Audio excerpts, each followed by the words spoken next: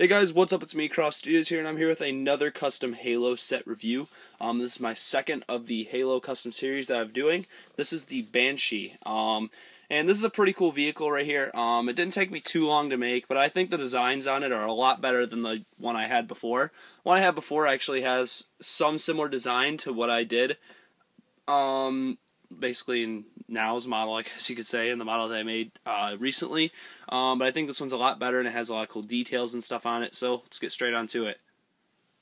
So moving on to the Banshee, this would probably be like a $15 set. If it were an actual Lego set, um, that's what I'd be guessing. You can see the guns on the front right here are these translucent dark blue pieces. Um, and you can see how I hooked the wings together with, um, basically I just crossed these two into a big area where I hooked, where I secured them in with studs. I actually had to put studs and stuff around these pieces to, um, because you can't put one by ones because they're square and it wouldn't have fit with these pieces and stuff like that. So I do a lot of things um, that made it so it stayed secure and it still looked accurate to the um, video game. Um, you can see the top piece I used right here. I used this big kind of boat piece right here, except I used it upside down to make that shape of the Banshee right there, which is pretty cool looking.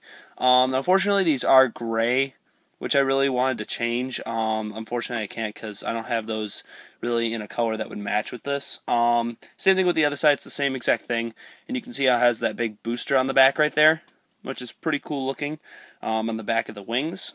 And one of the features with the set is how it basically just opens up like the game. Um, in the game, you actually had to get inside to open this up. Like when you open it up, you actually crawled inside. It's not like that on here. Um, on this one, you can see I gave him a shotgun. Um, to put the minifigure inside, you basically just hook them on this handle right here. On basically these handlebars, if I can get them on. Um, I think you guys kind of get the picture though. How he just basically connects on right here. Then you close this up and he's kind of inside. You can see how that works. And on the front has that big window like it does in the video game. You can see I hooked it like this. It's a really odd technique. You can see how I did that basically this can move up. It's not really meant to, but it can. But it's, it's basically just the window design. It looks pretty cool though. You can see out the bottom, you can see out the side. I think this is one of my better models just for perspective and accuracy um, overall. Um, you can see what it looks like right there from the top.